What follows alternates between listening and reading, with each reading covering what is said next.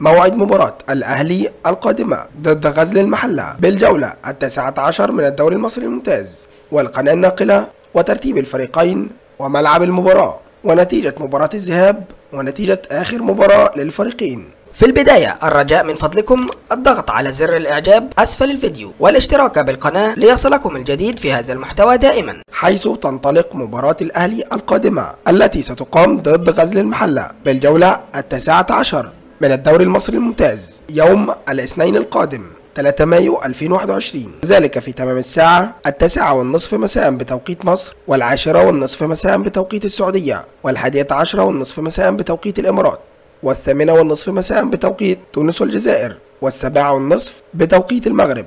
ويقام اللقاء على ملعب استاد غزل المحلة وتذاع المباراة بث مباشر عبر قناة On Time Sport HD ويدخل فريق الأهلي هذه الجولة القادمة وهو بالمركز الثاني. برصيد 37 نقطة حيث لعب 16 مباراة فاز في 11 مباراة وتعادل في أربعة مباريات وخسر في مباراة واحدة. أما فريق غزل المحلة يدخل هذه الجولة وهو بالمركز. الحادي عشر برصيد 24 نقطة حيث لعب 18 مباراة فاز في خمسة مباريات وتعادل في تسعة مباريات وخسر في أربعة مباريات. ويحتل المركز الأول بالصدارة فريق الزمالك برصيد 40 نقطة كما يحتل المركز الثالث فريق بيراميدز برصيد 30 نقطة ويحتل المركز الرابع فريق المصري برصيد 29 نقطة كما يحتل المركز الخامس الاتحاد السكندري برصيد 28 نقطة. ويذكر أن مباراة الذهاب بين الفريقين قد انتهت بفوز الأهلي بنتيجة 3-0 وعن آخر مباراة لعبها الفريقين قد تعادل الأهلي إيجابيا